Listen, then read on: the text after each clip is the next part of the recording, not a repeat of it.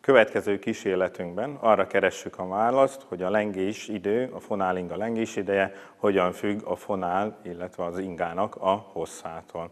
Ehhez két ingát állítottunk össze, az egyiknek a hossza 40 cm, a másiknak a hossza 80 cm, tehát a hosszabbik ingánk pontosan kétszer olyan hosszú, és meg fogjuk vizsgálni, hogy akkor a lengés idők hogyan aránylanak egymáshoz.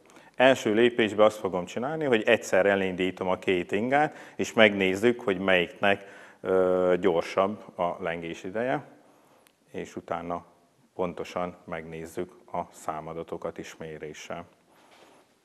Tehát kitérítem a két ingát egyszerre, és elengedem.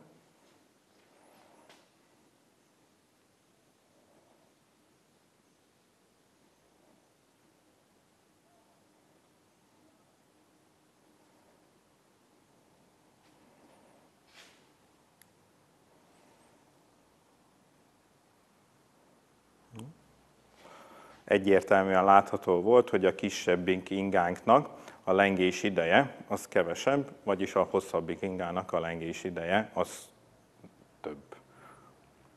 Most pontosan meghatározunk mindkét inga lengés idejét, egy stoppernek a segítségével. Kezdjük előbb a hosszabbik ingával, kitérítem, és öt lengés időt fogok mérni.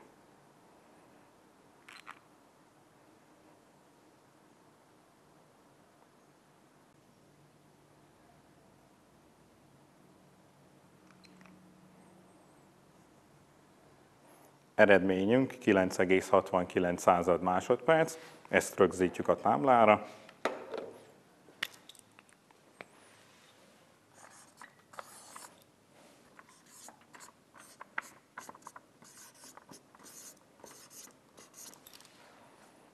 Most ugyanezt a mérést elvégezzük a rövidebbik fonálingánál is. Kitérítem, és öt lengés időt mérek itt is.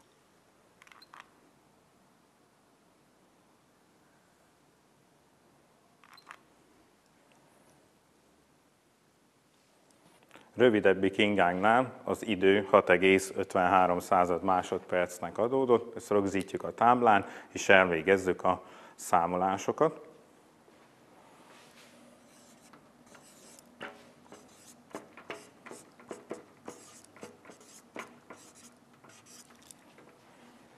Kiszámoljuk mindkét fonálingánál a lengésidőt.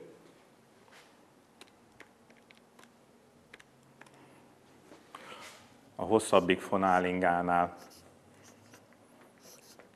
1,94 század másodperc kerekítve az idő. A rövidebbik fonálingánál kerekítve 1,31 század másodperc a fonálingánknak a lengés ideje. A hosszabbik fonálingánk hossza 80 cm volt,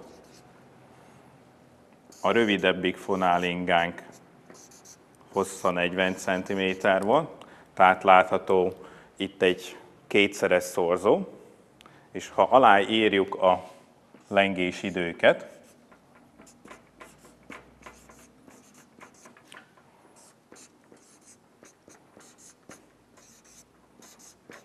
akkor először is észrevehetjük, hogy itt a kétszeres szorzó nem teljesül, tehát nem igaz az az állításunk, hogy a fonálinga lengés ideje a fonálinga hosszával egyenesen arányos. Elosztva egymással a két lengésidőt,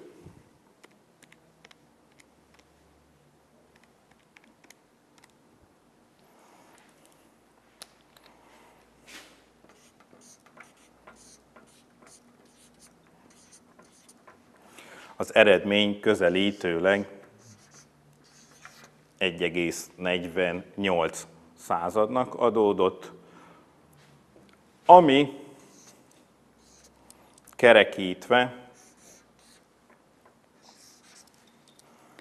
tekinthető akár gyök kettőnek is. Tehát azt a konzekvenciát tudjuk levonni, hogy a fonálinga lengés ideje a fonál hosszának négyzetgyökével arányos.